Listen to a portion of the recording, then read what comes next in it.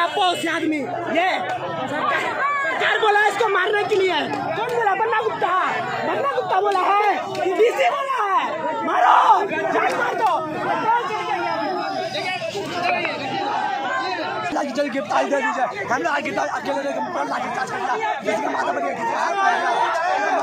क्या हो रहा है? कभी छात्राओं को कभी छात्रों को मारा जा रहा है क्यों मारा जा रहा है इनका ऑर्डर नहीं दिया जा रहा है हमला किया जा रहा है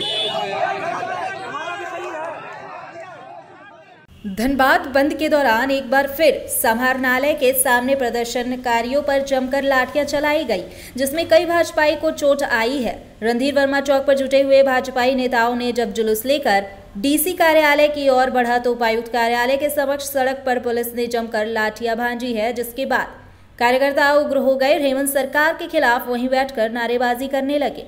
वही घटना में एक भाजपा कार्यकर्ता के सिर फटने की सूचना है।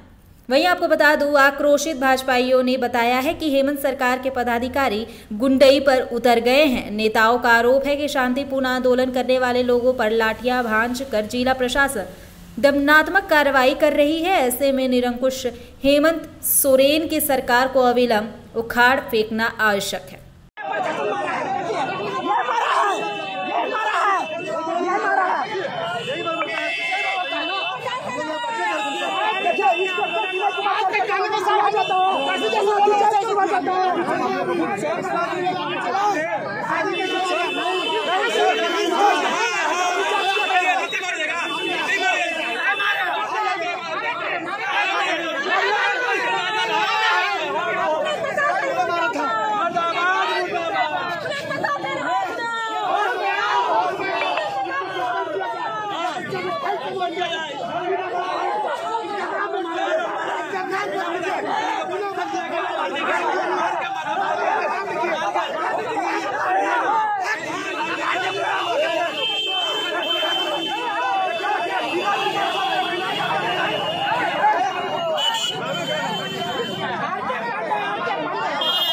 आर के पांडे नाम है उनका आर के पांडे और ये ये मारा है ये देखिए ये ये ना क्या पोस्ट आदमी?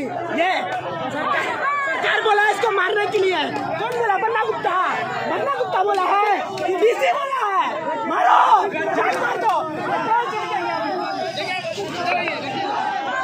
लागी चल गिरफ्तारी दे दीजिए। अकेले का माथा बन गया क्या हो रहा है? कभी छात्राओं को कभी छात्रों को मारा जा रहा है? क्यों मारा जा रहा है। ऑर्डर नहीं दिया